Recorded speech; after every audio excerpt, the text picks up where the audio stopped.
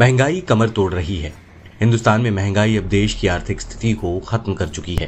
ये सारी महँगाई सिर्फ़ सरकार की विफलताओं को दिखा रहा है। देश की जनता मौजूदा महँगाई से तंग आ चुकी है और देश भर में सभी लोगों का मोराल डाउन हो गया है।